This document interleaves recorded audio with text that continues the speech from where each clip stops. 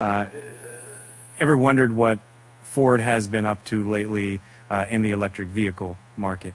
Well, there is no hold on to your seats because they're about to make a bold move. Uh, as an analyst with the background in automotive marketing and brand strategy, I'm excited to share some intriguing news about Ford's revival of an iconic name for their upcoming EV model. Uh, and uh, this week, Ford is expanding its lineup of electric vehicles in Europe with a new addition on July 10th. This time, they're bringing back the legendary Capri name, which is last seen on Ford's Fastback Coupe uh, produced from uh, 1968 to 1986. Quite a blast from the past, isn't it? Now, you might be thinking, wait, I can't charge a classic Capri. It's not an EV. Well, that's where the humor comes in, my friend.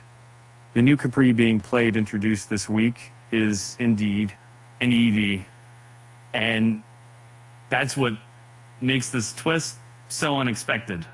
A few weeks ago, I was part of an unconventional marketing strategy at Ford. Uh, we placed ads in several print publications across the UK, uh, teasing the return uh, of some of the classic car names, including Capri, uh, under the name Comeback Cars.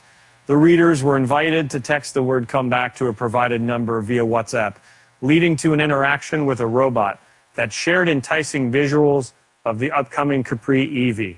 Now, let me put on my analyst hat and tell you more about the Capri EV.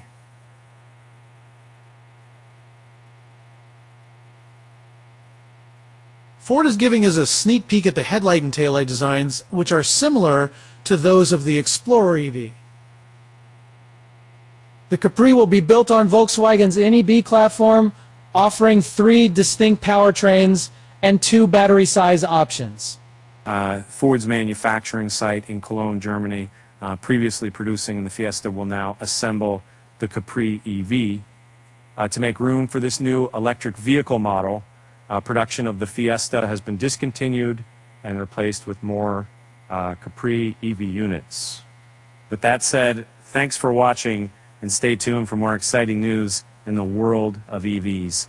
And remember, the next time you see a classic Capri, you might just have to imagine it's zipping around with an electric twist.